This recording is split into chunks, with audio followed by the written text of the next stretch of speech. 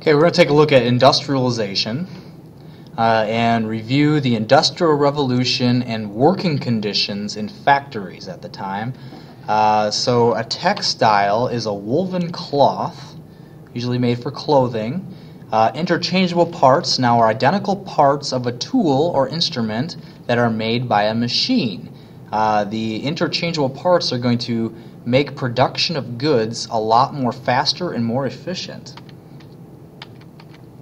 Okay, British inventors began to make textiles with machines.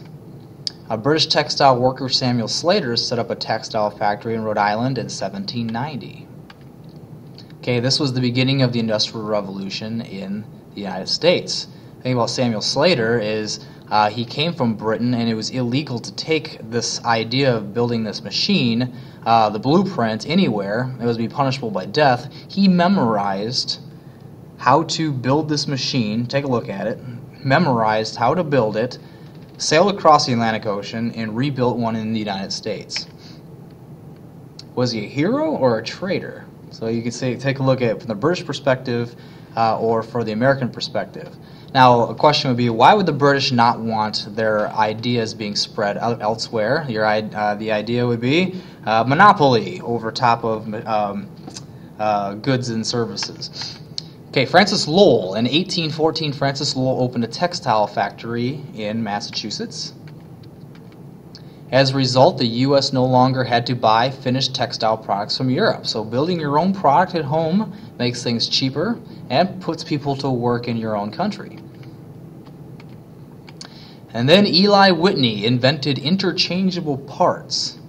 So, products could now be put together and repaired easily are easier than if uh, they were completely handmade. So, for example, if you were building a gun, instead of having to hand make every single gun, which would take a lot of time and you need certain people with skills to make those, you would have interchangeable parts. Uh, some uh, parts of the gun would be produced by uh, this, and some would be here, and it would be mass produced. And if something went wrong with your gun uh, after you buy it, you can go and get a part to fix it. Or like today, like an automobile, you need new tires or new brake pads or something. Those are called interchangeable parts. Imagine if every car was manufactured individually, um, they would be very, very expensive. Okay, but factory workers, uh, women were paid half as much as men. Working hours were long and wages were low. For example, you worked a 12 to 15 hour work days, and uh, were, at this time there were no laws protecting workers, and we'll talk about labor unions in this class.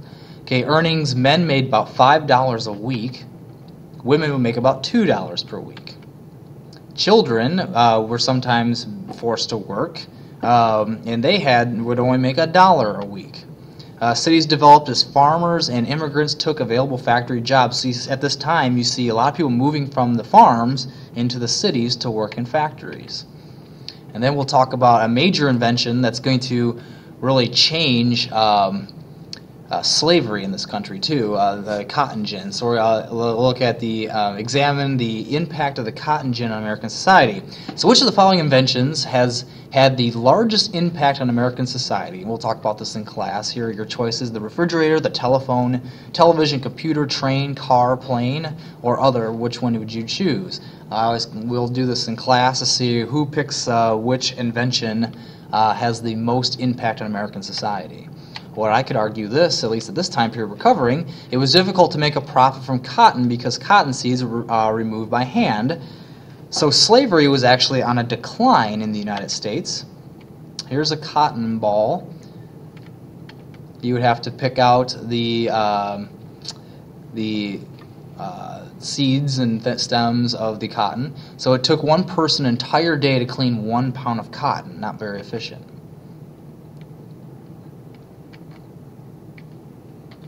This is how cotton grows.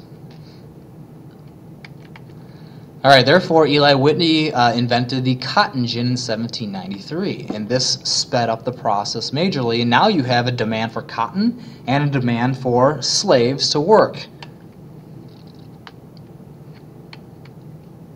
There are some videos we'll watch in class. All right, Whitney uh, applied for a patent on the cotton gin. All right, a patent is a copyright of an invention. So, like for example, the iPhone has a patent, and no one can copy the iPhone or something like that. So people ignored patents and built their own. Does that happen? Absolutely. uh, even till today. Whitney never became wealthy from this invention. Okay, a plantation owners began to earn a lot of money growing cotton. This caused farmers to increase their dependency on slave labor.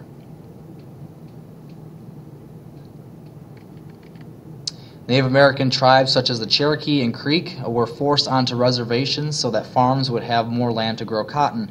So as our nation starts to expand west, uh, Native Americans are forced to move off these lands and these new lands here, moving in from uh, states on the coast over to Alabama, Mississippi, Louisiana. Uh, as these states develop, Native Americans are forced further and further west to make room for land to grow cotton. And we'll talk about that when we cover Andrew Jackson's presidency.